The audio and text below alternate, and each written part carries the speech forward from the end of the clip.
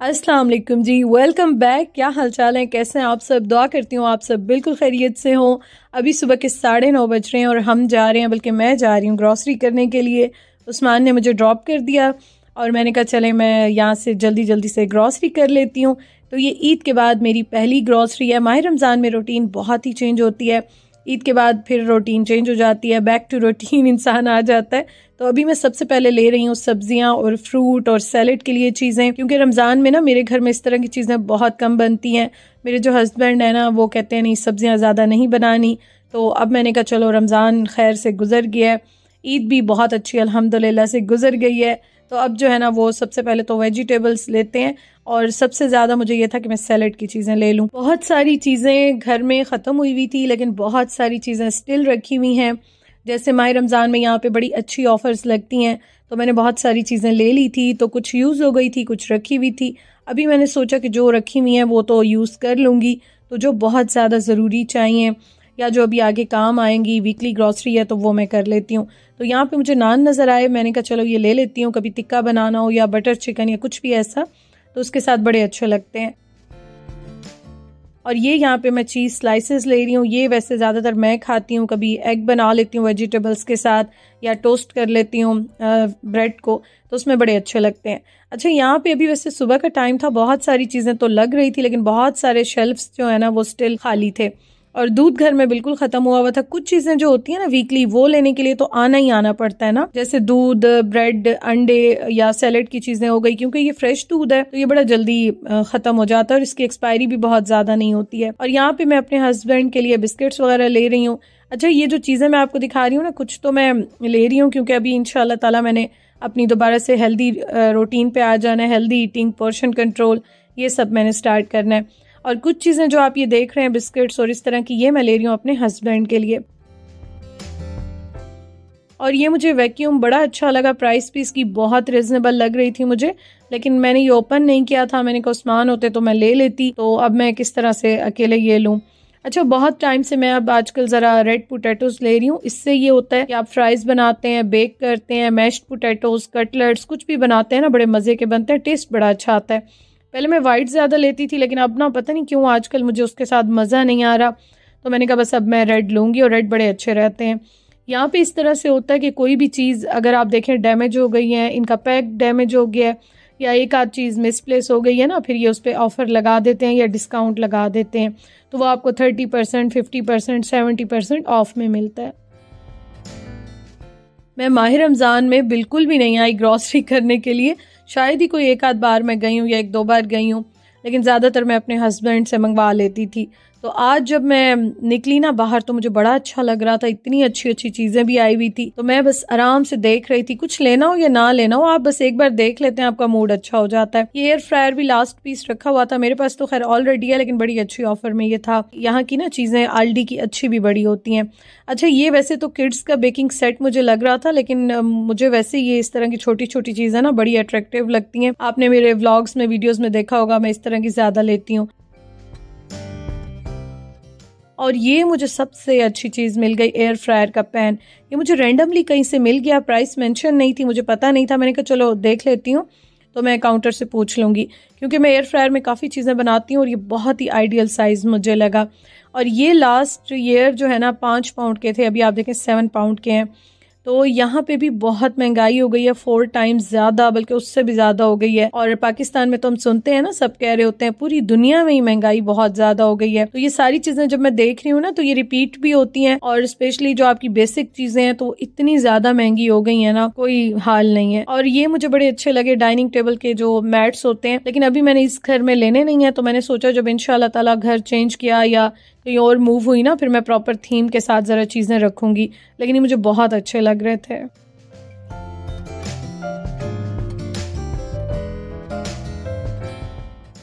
ये वाली लिड्स मैंने ली थी माह रमज़ान से पहले जब मैंने शॉपिंग की थी। तो मेरी वाली तो बहुत ही क्यूट है, बहुत ही प्यारी है, यहाँ पे भी बड़ी अच्छी लगी हुई थी ऑफ़र में। और ये वाला लिक्विड मुझे इतना पसंद है, मैं जो भी लेकर आऊँ ना, लेकिन पता नहीं क्यों मुझे ये वाला बहुत अच्छा लगता है। साथ के साथ रैपिंग जो फॉइल होती है, वो भी मैं लेती हूँ, क्योंकि अपने हस्बैंड को लंच वगैरह बना के देना होता है। तो बहुत सारी चीज़ें रैप कर सकते हैं, आप फ्रिज में भी रैप करके रख सकते हैं। और टिश्यू रोल्स बिल्कुल घर में ख़त्म हुए हुए थे तो ये मैं उस्मान को एक दो दिन से कह भी रही थी तो फाइनली मैं आई तो मैंने ये भी ले लिए माह रमज़ान में मेरा चक्कर बाहर का या ग्रॉसरी का बहुत ही कम लगा, और यहाँ पे मैंने आज देखा तो जी डेट्स मुझे नज़र आई। और मुझे फिर से वो रमज़ान वाली फीलिंग्स आने लग गई। इतना दिल उदास हो जाता है ना सोच के। अच्छा यहाँ पे ज़्यादातर जो ये होती हैं ना, मैंने टेस्को पे और बाकी जगहों पे देखी हैं तो वो इसराइल की होती हैं तो इसराइली प्रोडक्ट्स होती हैं। तो इसलिए हम अब जब लेते हैं तो बड़े पढ़ के, देख के लेते हैं, बहुत सारी चीज़ें इस तरह तो इंसान उठा लेता है, लेकिन यह है कि अब हमारी आदत है कि हम आराम से तसली से पढ़ के लेते हैं। तो मैंने कहा, मैं आपको भी बता दूँ, जो भी बाहर से ग्रोसरी करते हैं तो आप भी देख लीजिएगा। और उसके साथ मैंने ओट्स लेने थे ब्रेकफास्ट की चीज़ें लेनी थी ब्रेड भी लेनी थी, क्योंकि ज़्यादातर अब रोटी या पराठे तो नहीं खाए जाएँगे तो ये चीज़ें अब ज़्यादा नाश्ते में चलेंगी। और एग्स हम लोग बहुत दोनों शौक से खाते हैं, हमें प्रोटीन भी खाना होता है, लेकिन यहाँ पे अभी मैं देख रही थी तो एग्स थे ही नहीं, शायद वो अभी लगाएँ या ख़त्म हो। नट्स वगैरह भी मुझे चाहिए थे, अभी मैंने बेकिंग भी करनी थी और बहुत सारी रेसिपीज़ भी बनानी थी तो ये सारी चीज़ें मुझे चाहिए थी। तो आज मैं आई थी तो बस फिर अपनी पसंद से और जो चीज़ें मुझे ज़रूरत थी ना, वो मैं ले रही थी। चाय में मैं स्टीविया यूज़ करती हूँ, जितनी भी ड्रिंक्स हो हॉट ड्रिंक्स हो कोल्ड ड्रिंक्स हो, सब में मैं स्टीविया यूज़ करती हूँ अपने लिए। और साथ के साथ मैंने बेकिंग की चीज़ें भी ले ली, क्योंकि अभी मैं कुछ चीज़ें बनाऊँगी। मैं अपने हस्बैंड के लिए बनाती रहती हूँ। आप मेरे ब्लॉगिंग चैनल पे भी देख सकते हैं, मेरी कुकिंग चैनल पे भी देख सकते हैं। तो इसलिए मैं आज आई हुई थी तो मैंने कहा, चलो, ये सारी चीज़ें भी मैं साथ के साथ ले लेती हूँ। और फ्राइज़ लिए मैंने अपने हस्बैंड के लिए, क्योंकि कुछ नहीं होता ना एयर फ्रायर में ये जल्दी से बन जाते हैं। तो एक आध पैक मैं ज़रूरी फ्रीज़र में रखती हूँ। अच्छा ब्लूबेरीज मुझे बहुत अच्छी लगती हैं। मैं स्पेशली जो है ना, इनको ओट्स में डालती हूँ मॉर्निंग में। मुझे बहुत टेस्ट उनका अच्छा लगता है। आप इससे स्मूदीज भी बड़े मज़े की बना सकते हैं शेक्स भी बना सकते हैं। और चाय मैं ये वाली लेती हूँ, क्योंकि चाय के हम बहुत शौकीन है तो ये बड़ी कड़क वाली चाय बनती है। और फाइनली मुझे एग का एक बड़ा वाला पैक भी मिल गया। तो ये मैंने ले लिया और शुक्र अदा किया मैंने। मैंने कहा, चलो, अभी तो गुजारा होगा ना, फिर जाके ले लेंगे। अच्छा यहाँ पे मैं सॉसेस देख रही थी आ, लेकिन मैंने अभी किचन की जो है ना सारी दोबारा से डीप क्लीनिंग करनी है रमज़ान से पहले एक दिन भी की थी और अभी मुझे दोबारा करनी है डिक्लेटर भी करना है बहुत सारा काम करना है। तो ये मैं ले रही थी मुझे ये वाला फ्लेवर बहुत अच्छा लगता है लेमन और हर्ब्स का जो होता है। लेकिन फिर मैंने कहा मैं ज़रा एक बार देख लूँ मुझे लग रहा था कि शायद मेरे पास ये रखा हुआ है या वो ठीक है या नहीं ठीक है तो फिर मैं देखूँगी। तो बस ग्रॉसरी में भी सारी ऑलमोस्ट कर चुकी थी तो इतनी देर में मेरे हस्बैंड आ गए मुझे पिक करने के लिए, क्योंकि वो कहीं गए थे अभी तो बस वो अभी आए तो फिर मेरी ज़रा हेल्प हो जाती है। काम तो मैंने सारा कर लिया था, बस बिलिंग वगैरह मैं भी करा रही थी। और ये होता है कि फिर ट्रॉली वो ले लेते हैं, या मैं फिर इधर उधर ज़रा आराम से एक नज़र भी और डाल लेती हूँ, कुछ रह ना गया हो। खैर जी, अल्हम्दुलिल्लाह से ये हमारी ग्रॉसरी है, बाकी ये होता है कि अभी वेदर जैसे अच्छा होगा, मैं वॉक पे जाती हूँ तो दूध या ब्रेड या अंडे या कुछ इस तरह की जो बेसिक चीज़ें होती हैं ना तो वो मैं वैसे फिर ले लेती हूँ।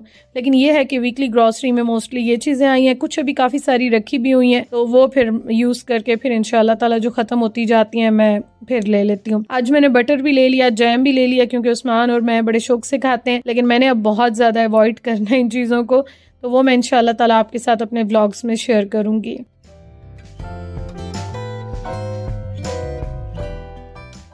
अल्हम्दुलिल्लाह से जी, बड़ी अच्छी ग्रॉसरी हो गई और मोस्टली ये था कि मुझे ज़्यादातर चीज़ें मिल गई। तो ये मुझे बड़ी खुशी हुई कि चलो आज मैं आई हूँ तो सारी चीज़ें मैंने ना आराम से ले ली हैं तसली से। और आप जब अकेले आते हैं ना, फिर टेंशन नहीं होती, फिर आप आराम से सारी देखभाल के अपनी मर्ज़ी से चीज़ें ले लेते हैं तो बड़ा अच्छा लगता है। मुझे तो बड़ा अच्छा लगता है इस तरह से। और अभी हम बस घर की तरफ़ जा रहे हैं तो बाहर बड़ी बारिश हो रही थी। यहाँ वैसे भी हर वक्त बारिश होती है, लेकिन अभी आप देखें, काफ़ी ज़्यादा तेज़ बारिश हो रही थी।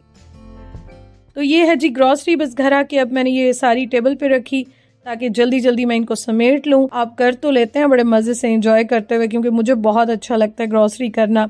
लेकिन घर आके फिर ये टेंशन होती है कि इनको जल्दी जल्दी बस समेट के अपनी जगहों पे रखें और फिर सुकून आता है। थैंक यू फॉर वॉचिंग अपना ख्याल रखिएगा। इन ताला नेक्स्ट वीडियो में मुलाकात होती है। वीडियो अच्छी लगी हो तो लाइक कीजिएगा। अल्लाह हाफिज़।